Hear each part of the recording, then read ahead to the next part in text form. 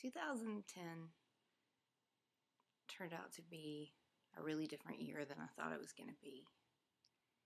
Um, it started off kind of rough, actually, um, personally. Even though I just sold to Egmont, and even though everything looked really pretty on the outside, it's kind of gross on the inside. And so, January last year, I, I didn't have high hopes. I didn't have a lot of good expectations for the year. And that's when you're sort of at a low place and you don't expect things to look up, and then they do, and then they do, and then they do. You kind of stop thinking about yourself and expectations that you have for yourself because what's changed your situation is the people on the outside.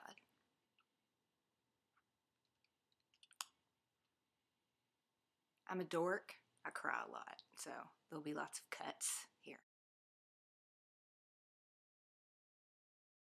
Um, when out on Twitter, some of us were being silly, and I said I'm just going to build a fort and hide it in, it until the year's over. And um, then I think I said I would have wine and cute boys in my fort, and um, it sort of snowballed. So everybody on Twitter was like, you know, I'm having a crappy day too. Uh, which which boy should we put in the fort? And so everybody started picking boys. Obviously, this is a bunch of you know women doing this. Anyway, it's like a slumber party, like an internet slumber party. Okay, so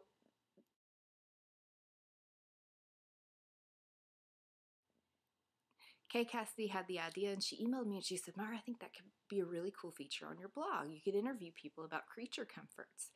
And I don't think she meant to include the, that I should include the boys, but I did because that's the fun part. So I started the Fort interview series, and it has been one of the things that I look forward to most. It's been the most regular thing on my blog by far, but it's also been one of the things that I have really enjoyed getting to know authors um, through. Only one person has turned me down, so it's been it's been a lot of fun to get to know people that way. Um, that was the first awesome thing that happened um, in 2010. And the second, it's not awesome. It's sad, but it it is honestly one of the most life changing events that I've had as an adult. And that was the Nashville flood that happened in May of 2010.